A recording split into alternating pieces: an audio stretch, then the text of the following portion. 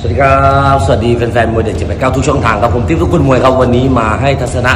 คู่มวยครับศึกมวยไทยเจ็ดสี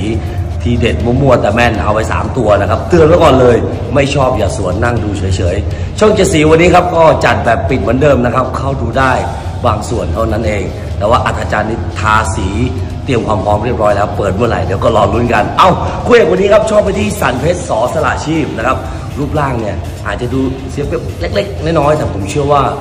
รายละเอียดในเกมเนี่ยวันนี้สันเพชรเก็บได้แน่นอนนะครับช่องเจ็ดคู่เอกที่ชอบที่สันเพชรแล้วก็คู่รองครับชอบไปที่ดงทองลูกเจ้าพ่อโรงต้มนะครับคู่ที่สองให้ไปที่วันวิเศษลูกบานใหญ่นี่คือ 3 ตัวครับ ทีเด็ดมั่วๆแต่แม่นจากติ๊กตะกูลมวยครับก็ฝากไว้ด้วยครับ เป็นทัศนคู่มวยนะครับในมวยไทยเจ็ดสีวันนี้ครับที่วิกหมอชิดครับ ชอบก็ตามไม่ชอบอย่าสวนนั่งดูเฉยๆอย่าหาว่าไม่เตือน